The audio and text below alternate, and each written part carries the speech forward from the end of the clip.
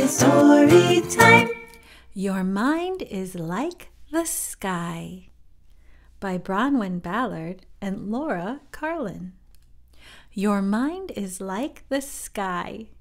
Sometimes it's clear and blue. Sometimes it's fizzy and stormy and black and crackly. Often it's just a bit gray. Your thoughts are like the clouds. Nice, white, fluffy cloud thoughts, like, look what I can do, or I love to ride my bike, or that was a good day. And darker, meaner rain cloud thoughts, like, I'm not good at this, or I'll never get this right, or even, I'm useless. Thoughts come and go for all of us all of the time. Half the time, they've been and gone before you've even really noticed. The trouble with rain cloud thoughts is that they're dark and a bit mysterious. They can make everything else seem dark too. Without you even noticing, they can make you feel angry or jumpy or sad and confused. So, what do we do about rain clouds? You could go exploring. Some people go right inside their rain cloud thoughts and rummage around. They think if they can get right to the bottom of their rain cloud thought, they can figure out how to get rid of it. The problem is, when you're inside a rain cloud, the cloud looks really, really big. And it's hard to see anything else. You could try fighting. But as you'll know, if you've ever fought a rain cloud, all that happens is you get a bit wet. You could pretend the rain cloud isn't even there. You could skip about and laugh and tell everyone how happy you are. Sometimes this works, and the rain cloud floats off. But if it's a big, dark rain cloud thought, it's probably best to put on your rain boots. Or you could try this clever trick. When a rain cloud thought comes into your head, you say, Oh, it's a rain cloud thought. And then you notice all the white, fluffy cloud thoughts as well. You notice the blueness of the sky and the tweeting of the birds.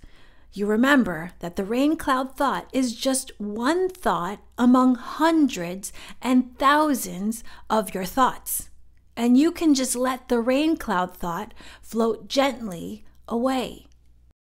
The trick is to see the whole sky. It takes a bit of practice to look inside your head, but if you just stop every now and then, you'll begin to notice that there are big shouting thoughts and little whispering ones, fast racing thoughts and gentle creeping ones. And that you can choose which thoughts to pay attention to. Your mind is like the sky. It's full of thoughts of different shapes, sizes, and colors. It's full of amazing things. Notes for grown up readers. Mindfulness is a way of paying attention to our thoughts, kindly and without judgment. When we are mindful, we begin to notice that although our thoughts often seem like the truth, they are really just thoughts, and we don't always have to follow where they lead. As with any skill, it takes regular practice to make mindfulness a habit. But the rewards are huge protection from anxiety and depression, improved memory and attention, greater levels of happiness, and many more.